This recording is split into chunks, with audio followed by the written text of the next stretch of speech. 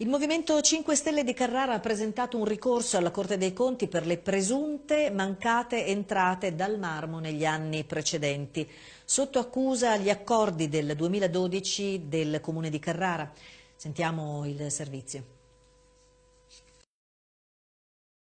Dopo l'interpellanza parlamentare affidata alle due senatrici del Movimento 5 Stelle Laura Bottici e Sara Paglini e la preparazione del disegno di legge, i pentastellati sui beni stimati decidono di ricorrere anche alla Corte dei Conti per chiedere una verifica sul presunto mancato gettito che sarebbe, secondo i 5 Stelle, di 3,2 milioni di euro nel 2014 e 2,6 milioni nel 2015.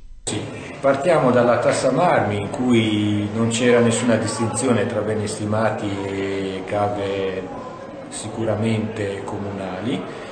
Si arriva al 2003-2004 quando con gli accordi con eh, il mondo del marmo per cui i beni stimati ottengono uno sconto simbolico rispetto agli oneri delle, delle altre cave, arriviamo invece al 2011-2012 in cui l'amministrazione fa degli sconti sostanziosi per i beni stimati. Consideriamo che le cave totalmente bene stimate pagano come canone concessorio zero, le cave che hanno il 50% di bene stimato pagano il 50% e meno e così via, quindi gli sconti diventano reali.